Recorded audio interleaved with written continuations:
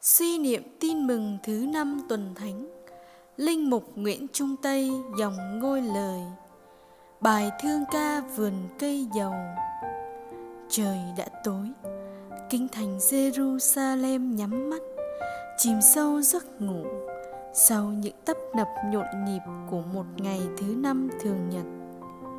Tối nay, tối của 13 tháng Nisan âm lịch Xa xa, trời cao lay động tia chớp.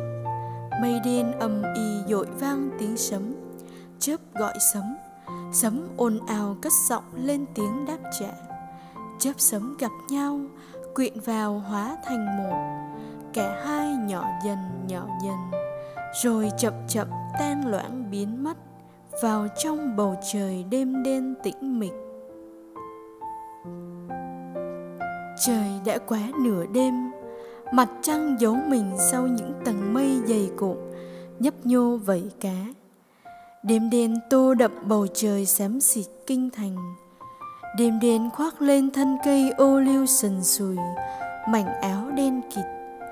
Đêm đen yên lặng, đồng lõa với những đôi mắt cú mèo sáng quắc, đang chăm chú dõi nhìn một người đàn ông, dáng vẻ cô độc bên gốc cây dầu.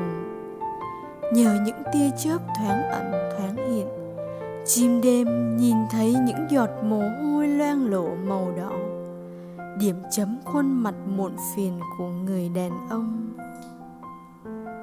Nhìn lên trời cao, đôi môi thầm thì vọng hướng thiên đàng. Người đàn ông thất vọng nhận ra, không gian tiếp tục lặng câm ngoại trừ tiếng sấm ầm ù, ngân vang âm vọng thương ca. Liếc nhìn chung quanh, người đàn ông nhận ra vườn cây dầu. Xào xạc lay động tiếng cỏ khô. Người đàn ông nhíu mày, dõi nhìn nơi xa xa, những tia lửa chập chờn thoáng hiện thoáng mất. Người đàn ông thầm thì lời kinh, nếu được xin cho con khỏi uống chén đắng. Nhưng trời cao vẫn yên lặng. Lần này, ngay cả tiếng sấm cũng bỗng dưng biến tan. Yên lặng phủ trục che kín cả một khoảng trời. Ngẩng mặt lên nhìn một lần nữa, người đàn ông hốt hoảng nhận ra ánh lửa lung linh đe dọa dần dần rõ từng nét người đàn ông muộn phiền nhận ra, ba người đệ tử vẫn còn nhắm mắt ngủ say. Xa xa, ánh đuốc bập bùng khi mờ khi tỏ áo giáp và gươm đao. Ông cúi xuống, mặt sát đất đen, chấm dứt lời kinh đêm. Xin được vâng theo thánh ý cha. Ngẩng lên nhìn chung quanh người đàn ông nhận ra vườn cây dầu bất chợt bừng sáng. Đuốc lửa chói lòa, tiếng gươm sắt, tiếng lửa đỏ, tiếng chân người, ngàn vạn âm thanh trong khu vườn cộng lại, mở bừng những đôi mắt ngái ngủ của ba người đệ tử.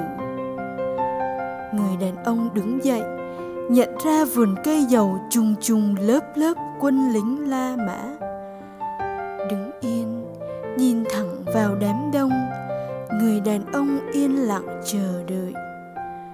Từ hướng đối diện, người thanh niên bước thẳng tới, hôn nhẹ lên đôi má của người đàn ông. Ngay khi đôi môi của người thanh niên chạm nhẹ lên bờ má của người đàn ông, ba người đệ tử ngồi bật dậy. Một người hét to juda tiếng hét giận dữ, vang dội lay động một góc trời. Những cánh chim đêm đập cánh khua động, hốt hoảng bay vút lên cao. Những đôi mắt cú mèo nhắm chặt. Sấm chớp tiếp tục khua động, đệm nhịp bài thương ca vườn cây dầu. Giờ này mùa thương khó, bây giờ mùa thương ca, bài thương ca vườn cây dầu lạy chúa. Xin cho con những giọt mồ hôi trộn lẫn máu đỏ để chúng con thống hối cho những lỗi lầm và tội lỗi của con. Xin cho con lòng can đảm uống cạn chén đắng, như chúa đã từng uống cạn chén đắng của ngài năm xưa trong vườn cây dầu lạy chúa, những lúc con cô độc và muộn phiền với đời sống xin mang con tới vườn cây rồng, để con lần tìm theo những dấu vết của con trời năm xưa. Để con thôi không còn than phiền về cuộc sống, nhưng sâu lắng nhận ra tình trời vời vợi yêu con muôn trùng.